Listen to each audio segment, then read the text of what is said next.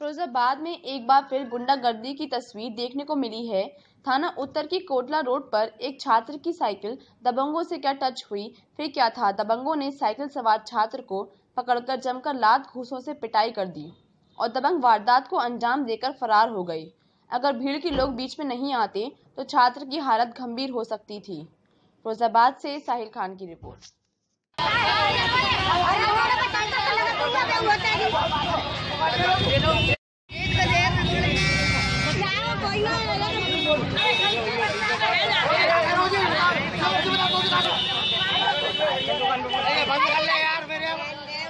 भाई छोटे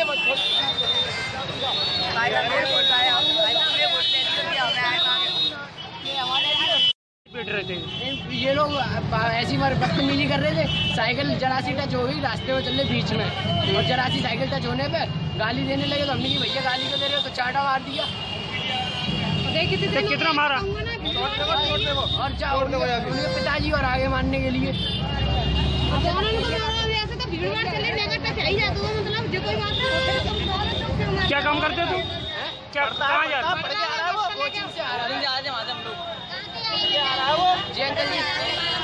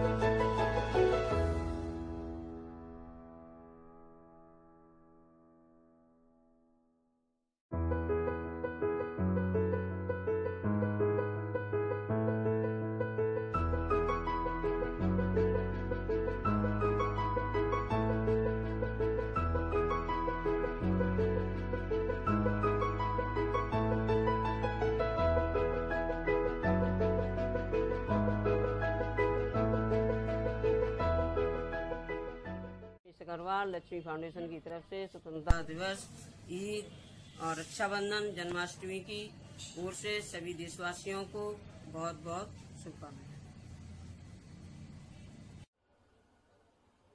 मैं मदन लाल वर्मा, प्रांतीय मंत्री, उत्तर प्रदेश उद्योग व्यापार मंडल, अपने फरियाबाद नगरवासियों को स्वाधीनता दिवस बकरीद रक्षाबंधन व जन्माष्टमी की शुभकामनाएँ देता हूँ कि फरियाबाद वासियों को शीघ्र ही गंगा जल प्राप्त हो और शहर के अंदर शांति के साथ सारे त्योहार मनाए जाएँ। धन्यवाद।